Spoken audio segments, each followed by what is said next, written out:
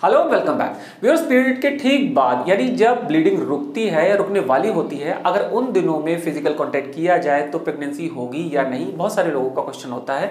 और ये दोनों तरीके के लोगों के लिए बहुत इंपॉर्टेंट है। जो लोग प्रेगनेंसी चाहते हैं या फिर जो कपल्स प्रेगनेंसी नहीं चाहते हैं उन दोनों ही कपल्स के लिए बहुत इंपॉर्टेंट है। वेल well, इसके बारे में हमने बहुत सारे वीडियोस बनाए हैं। आप एक बार हमारी प्लेलिस्ट को ज़रूर चेकआउट करें बिकॉज़ उसमें आपके डिफरेंट डिफरेंट जो क्वेश्चन रहते हैं उनके वहाँ पर रिप्लाई है।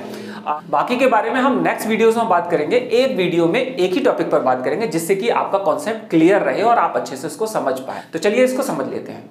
तो कपल्स यहाँ पर ध्यान दें, ये मैंस्ट्रुएशन का हमने पहला दिन लिया है। पहला दिन, दूसरा दिन, तीसरा दिन मोस्टली लोगों को तीन दिन मैंसिस होता है या फिर किसी किसी में चार दिन होता है। तो अगर ये चार दिन होता है या एक दिन आगे बढ़ता है या नहीं बढ़ता है वो आप ऐड और रिमूव कर लीजिएगा।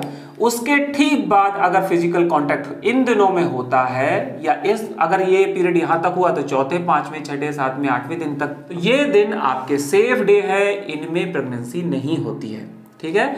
आपको ध्यान रखना है कि पीरियड के ठीक बाद अगर ये चार दिन हैं, इनमें आपने कॉन्टेक्ट किया है तो प्रेगनेंसी नहीं होगी। अब इसमें एक बात ध्यान देने की ज़रूरत है कि अगर आपको प्रेगनेंसी चाहिए तो फिर आपको हमारे दूसरे वीडियो देखने हैं जिनमें कि हमने अनसेफ डे जो बताए हैं उसमें आपको कांटेक्ट करना है। वेल well, अगर आपकी पत्नी का जो पूरा चक्र है यानी पहले दिन जो पीरियड जो पहला दिन ये है पीरियड का जो नेक्स्ट पीरियड आता है तो उस वो चक्र कहलाता है। अगर वो 22 दिन का है तो फिर आपके लिए ये सातवें दिन तक ही फिर सेफ़ है।